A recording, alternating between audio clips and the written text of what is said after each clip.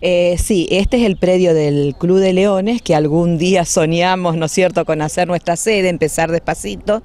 Y bueno, eh, con motivo del centenario de los clubes de leones a nivel internacional, eh, quisimos dejar este homenaje, ¿no es cierto?, con un monolito en recordación de eso, de los, de los 100 años de, la Asociación Internacional de Clubes de Leones. Y de paso embellece nuestro lote, embellece la localidad. Bien. Eh, bueno, sabemos que este, la firme idea, como bien usted decía, es de aquí tener eh, la sede, se está trabajando mucho, se hacen beneficios. es un sueño que obviamente se va a paso lento, pero firme, ¿no? Realmente más en el momento, ¿no es cierto?, que estamos viviendo hoy, que todo cuesta y que también hacer este beneficios también cuesta, ¿no es cierto?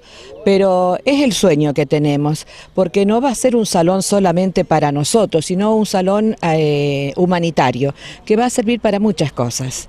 Eh, va a estar más eh, a servicio de la comunidad que de los propios leones. Claro. ¿Ya hay algún diseño realizado, alguna idea específica de cómo va a ser el mismo?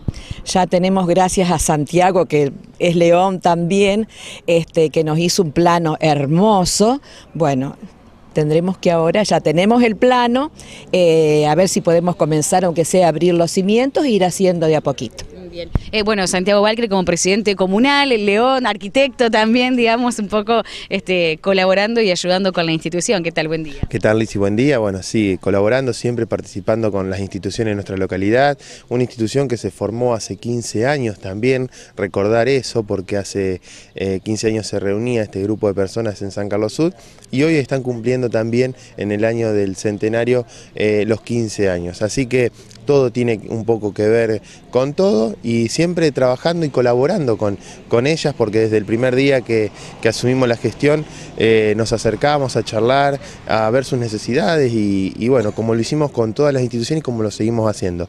Y eso tiene que ver con la necesidad de ellos de tener un espacio propio, de tener un lugar. Este predio ya eh, lo tenían ellos en su poder eh, de muchos años y bueno, se nos ocurrió pensar en un proyecto y bueno, la, importancia de, de dar servicios, de brindar servicio a la comunidad y de ofrecer eh, distintos elementos que tiene el Club de Leones para brindar en la comunidad y bueno, de esa manera eh, estar, estar presente con, un, con una idea, con un proyecto, con una propuesta, porque como lo vienen haciendo eh, año tras año van a aportar su granito de arena y bueno, van a ir esforzándose para, para tener su lugar, para tener su, su, espacio propio. Y como localidad de San Carlos Sur hoy, en el Día de la Bandera también, celebrar este, este, momento, este encuentro y este, eh, este Día de la Bandera.